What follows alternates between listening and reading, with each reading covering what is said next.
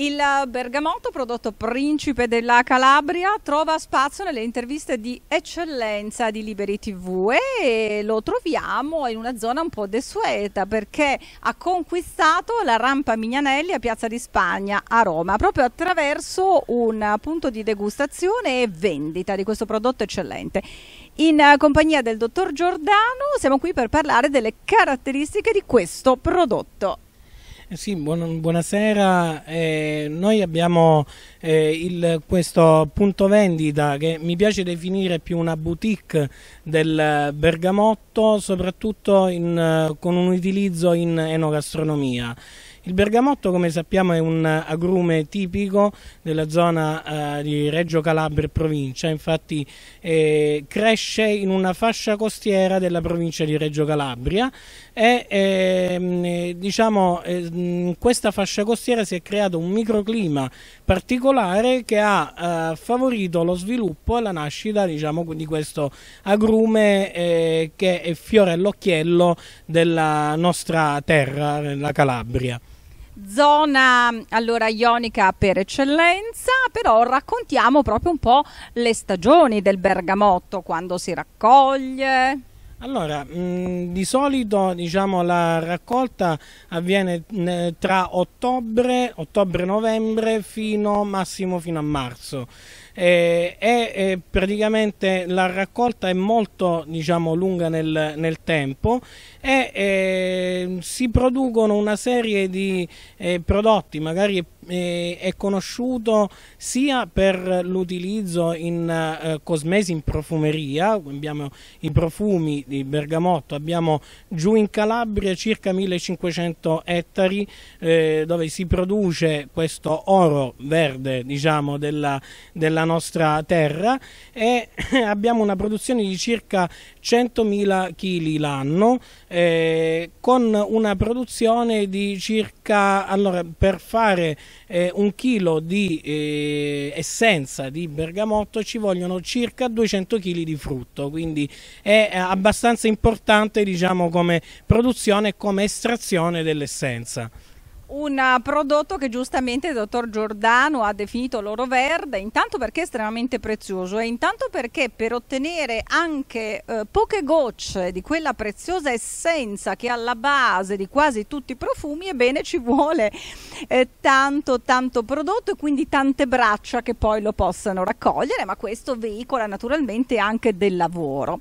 Allora, parliamo dell'utilizzo del bergamotto, lei ha accennato già giustamente in parte per i profumi, ma soprattutto anche mh, nel reparto farmacologico per alcune patologie non gravi naturalmente e poi passiamo invece al reparto gusto e al reparto cucina. Cominciamo da questa caratteristica del bergamotto di essere ricco di polifenoli.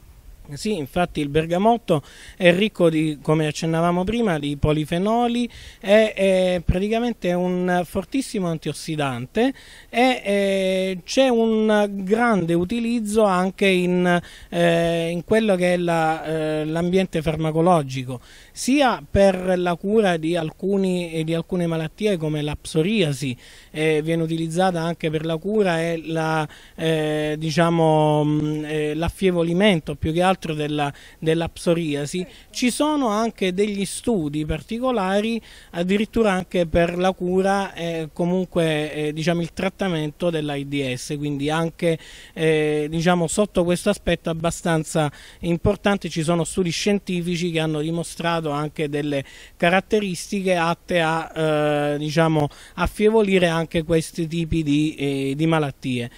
Però la cosa che eh, in questo momento noi stiamo promuovendo di più e, e praticamente stiamo eh, sfatando il mito eh, dell'essenza utilizzata soltanto in cosmesi o soltanto in, in ambito diciamo farmacologico, quello che stiamo promu promuovendo noi è un, discorso dell'utilizzo del bergamotto in enogastronomia. Infatti il, mm, eh, il, il produttore che eh, ci permette di stare eh, in, questo, in questa questa meravigliosa cornice, il professore Caminiti, eh, è stato diciamo, il principale artefice del, dell'utilizzo del bergamotto in enogastronomia. Attraverso diciamo, la, ehm, eh, diciamo un, un, discorso di eh, produzione e ehm, di studi anche scientifici atti a dimostrare che comunque il bergamotto è molto molto utilizzato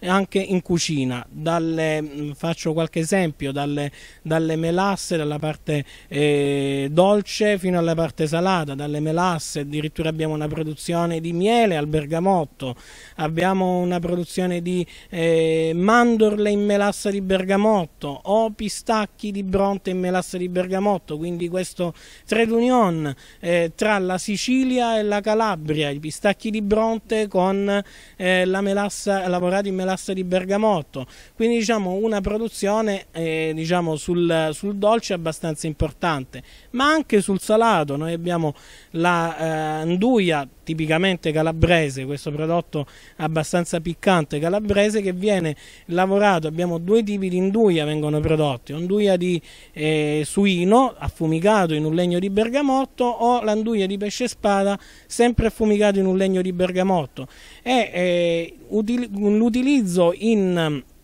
enogastronomia, in cucina, ha permesso uno studio anche sulla, eh, su un discorso di eh, colesterolo, infatti è una un cosiddetta bomba anticolesterolo il bergamotto e quindi diciamo è utilizzato anche il gusto si abbina buona, al, al buon cibo e alla salute. Bravissimo dottor Giordano, tra l'altro qui abbiamo degli esempi di quelli che lei ha citato, mandorle in melassa e se non sbaglio i pistacchi proprio di Bronte in melassa. Qui davanti a noi invece ehm, la copertina eh, del meraviglioso libro curato dal professore mm, che lei poc'anzi ha citato, professor Caminiti, ma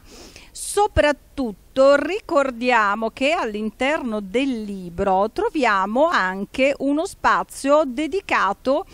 a chi del bergamotto si prende cura, una vera e propria congrega, confraternita, adesso lo descrive meglio lei di che cosa si tratta perché è un prodotto che proprio per la sua preziosità va tutelato e preservato. Certamente c'è un ente che è l'Accademia del Bergamotto eh, che promuove diciamo, gli, sia gli studi scientifici sia diciamo, i, i, personaggi che si sono distinti eh, in ambito scientifico, imprenditoriale, eh, di produzione, eh, proprio per la diffusione della cultura del bergamotto. Quindi eh, ogni anno addirittura viene, eh, viene, vengono dati dei riconoscimenti, ehm, ogni anno a giugno, intorno a giugno vengono dati dei riconoscimenti e vengono nominati gli ambasciatori del bergamotto, che sono dei personaggi illustri, eh, come dicevo prima, sia nel campo scientifico sia nel campo eh, imprenditoriale o comunque accademico anche universitario, eh, proprio che si sono dedicate, eh, queste persone si sono dedicate alla diffusione della cultura del bergamotto sotto tutti gli aspetti, quindi diventa eh, non soltanto un ambito scientifico enogastronomico, ma anche un ambito culturale abbastanza importante. Io, dottor Giordano, la ringrazio anche perché lei uh, aiuta a uh, far conoscere alla capitale a tutti coloro che la visitano questo prodotto di assoluta eccellenza. E eh, diamo anche un appuntamento settembrino perché io so che all'interno di questo salotto vero e proprio eh, ci saranno dei veri e propri circoli anche letterari. Insomma, da settembre vogliamo lanciare anche questo argomento, quindi il salotto del Bergamotto diventa il supporto supporto anche per parlare di cultura. Certamente, da settembre siamo, eh, abbiamo pensato di eh, fare una programmazione di eh, incontri, eventi, dibattiti, reading, eh, reading letterari sempre legati al filo conduttore che è comunque il bergamotto quindi eh, cultura, enogastronomia, eh, benessere e salute eh, che si coniugano diciamo, all'interno di questo eh, meraviglioso salotto che eh, mi onoro di, di condurre in questo momento e di rappresentare in piena eccellenza. Allora, grazie dottor Giordano. Uh, qualcuno da ringraziare in particolare che l'aiuta nella gestione di uh, questa boutique? Eh, ringrazio, eh sì, ci vuole, ringrazio eh, Rossella Torino che mm, diciamo, è l'altra persona che gestisce il, eh, questa boutique, che si occupa diciamo, della gestione proprio fisica del, della, della, boutique, del punto vendita, dell'organizzazione eh, del punto vendita. Io curo l'aspetto più relazionale eh, di comunicazione e di eventi all'interno della, della, della boutique. Ringrazio comunque eh, il professore Caminiti per aver creato questa, questo, questo, circolo eh, diciamo, eh, culturale, scientifico e del gusto eh, e di diffondere, lo ringrazio per aver avuto l'idea di diffondere proprio la cultura del, del bergamotto in giro per, non solo per l'Italia ma anche all'estero. Eh certo, grazie noi con Liberi TV eh, ci auguriamo di esserci da settembre in avanti per documentare se non tutti alcuni degli incontri naturalmente più importanti.